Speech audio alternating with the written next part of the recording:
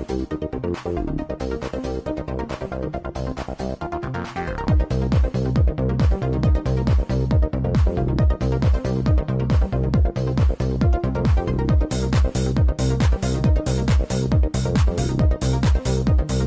let's see how we produce some uh, some simple decor like like you see here. We inflate the balloon.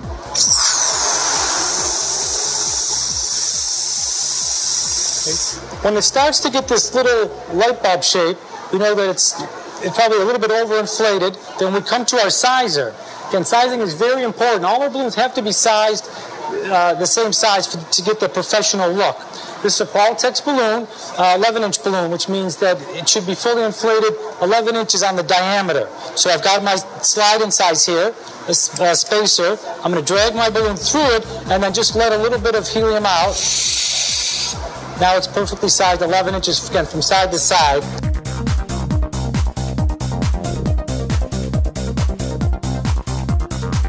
And now the customer came up to us, let's say, and they gave us a foil balloon. These are the bubble balloons, okay? And we've all, uh, of course, done mylar balloons. The bubbles are a little bit different. Okay? A mylar balloon, you would use the mylar inflator so it has less pressure and won't compromise our valve. When we're working with the bubble balloons, though, we need a lot of pressure because we're getting a little bit different shape to this. More of a round bubble shape than the disc shape of those mylars that we're used to. So we go to our latex tip, and we inflate it.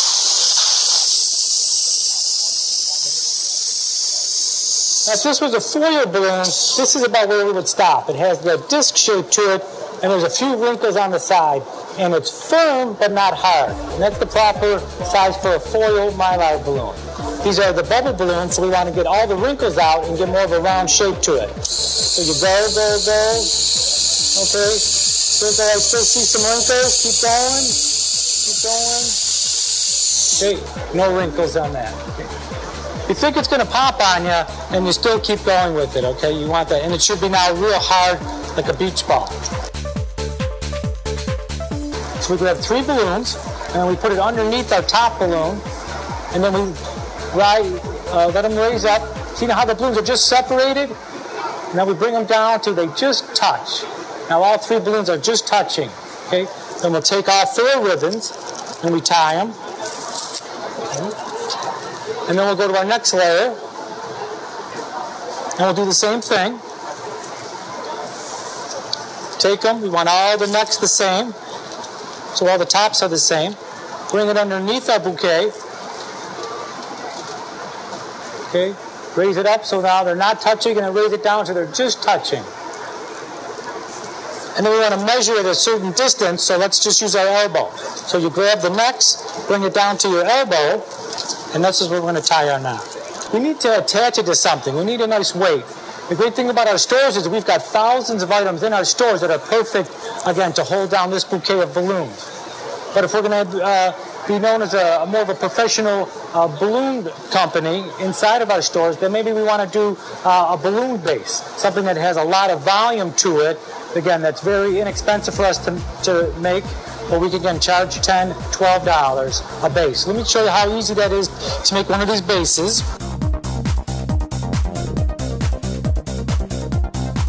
Again, these are the Qualatex 11 inch balloons, and if you remember I said when you're helium inflate them, you want to inflate them to 11 inches. That's the proper size, the maximum size with helium. Whenever you put air inside of a balloon, you always want to underinflate them. These balloons are going to get it uh, nestled together. They're going to be tied tighter. They might be on the floor. Get a little more action from the kids grabbing them. So we want them underinflated so they're more pliable. So we'll take our sliding size. These are 11 inch balloons. The maximum you'd want to inflate them with air is approximately 90% of whatever the maximum diameter is. So on an 11 inch balloon, really no bigger than nine and a half inches. So I decided to make ours at nine inches. So I'll take my sizer and I'll put it right at nine inches. Then what I'm going to do is I'm going to inflate one balloon, overinflated, overinflated with air, drag it through my sides here, drag it through my sides here, tie it together, and tie the two together, and after that'll be a duplet. I'll make another duplet, twist the two together, and that's going to be my bottom cluster.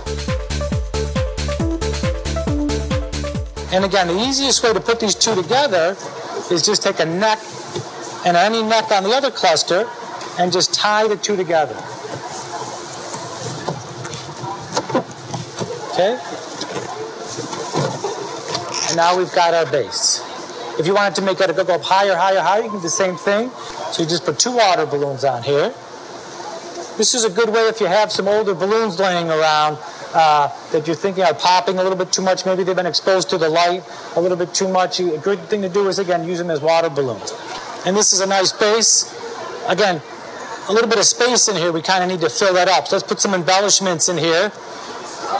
Let's try some of those uh, long 260 balloons, but maybe this time, let's see if we can curl them. What we want to do to curl these now is we wrap them on our finger without twisting the balloon, and then we're going to put it on our air inflator, and it should curl for us.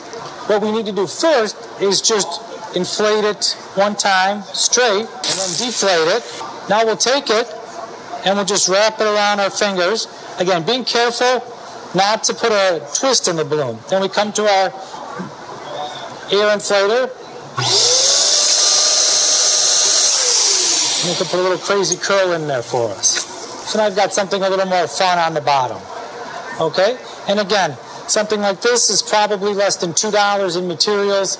And again, in our store, we would, again, retail that base for $12. The next important point I want to bring up is that if a customer came to us and, you know, and then every time we had this bouquet, we would take a picture of it and they would come in and they would order that bouquet now Again, if you're going to give this to the customer, what are they going to be thinking?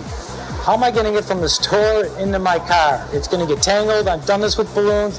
It's a big hassle. So again, we should always be putting things in bags. Now the customer feels a lot better taking this out than a bouquet, you know. Even on a windy day, this might blow around. Again, it could tip upside down, do different things. They put it in their car sideways, but they'll take it home Okay? And again, it looks just like it was when we put it in there.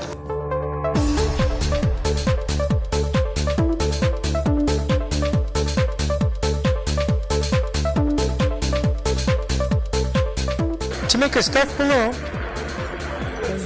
you want to put a bear inside of a balloon, we can do that easily with this piece of equipment, the super stuffer. First thing we do, we take a clear 18 inch stuffing balloon, we'll turn it inside out.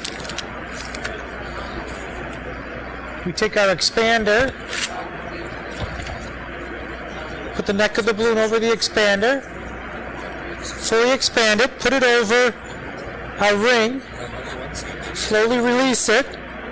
We take our fingers and put it on the latex balloon and we push down and give a little twist and get our expander off the balloon. Then we press the button here and it's going to be pulling the air out of the chamber, allowing our balloon to fully inflate.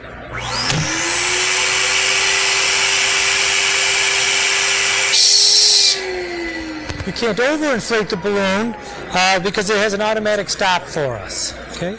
Now our balloon is fully inflated inside the chamber. We've got a large 5-inch opening which allows us to put anything that we can put through or squish through a 5-inch opening inside the balloon. Then we might want to take some shred.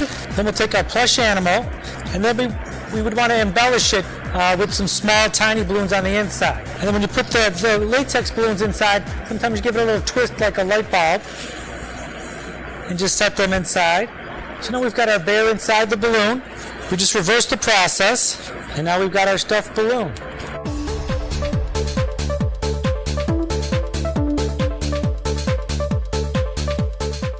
Next thing I want to talk about is the balloon decorating equipment.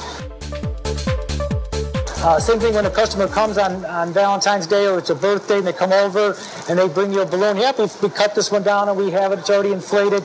And they bring it to you and it's a little soft. They might not notice or care, but you should have your employees all trained to always give it a quick uh, little zap at the end, and they'll really appreciate that. Like, oh, thank you. You know, and it's probably costing you maybe a, a penny or two in helium, but that balloon is going to stay inflated now for another week, uh, and they'll appreciate that.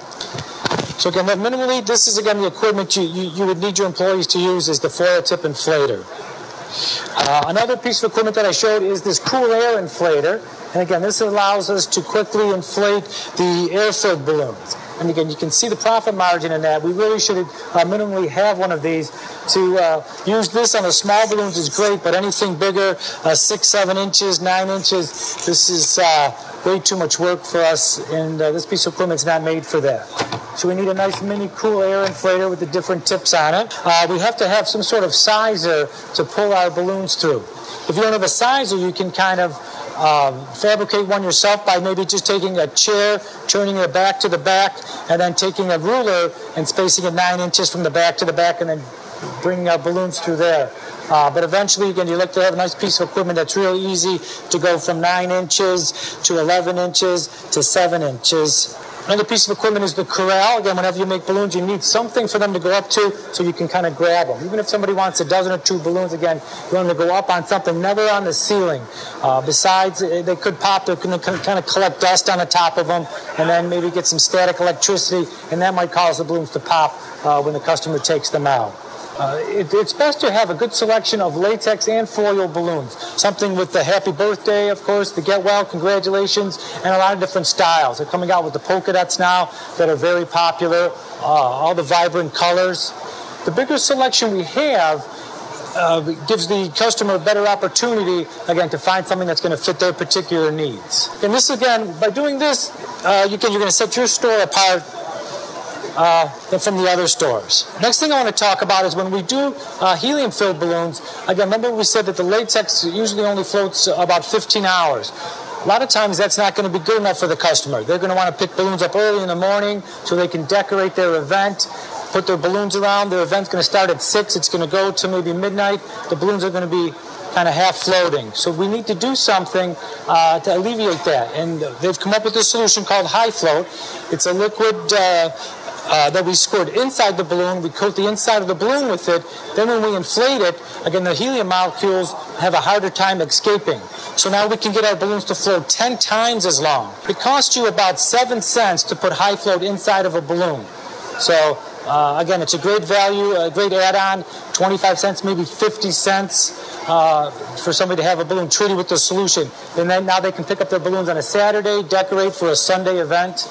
When we put them in bouquets, like we're talking about later, uh, we don't want the balloons just to, to deflate and die after a day or two even. It'd be great if they could have a full bouquet of latex and foil balloons that last a week or so. So that's what this high float's going to do for us. Another piece of equipment that, uh, again, if your store is doing uh, anywhere over 100 balloons in a day, uh, again, this is kind of the old school method where you take the balloon high floated, put it on your sizer, uh, or I'm sorry, your latex inflator, and then pulling it through the sizer. That's kind of old school. What you really want is a piece of equipment uh, similar to this, where it's an automatic sizer, a digitally uh, set timer. You put it on there. Now you know that maybe it's at 1.2, does your 11 inch balloons. All your staff knows that. They take a balloon, put it over, and press a button or press the foot pedal, and the balloon will inflate to 11 inches every time.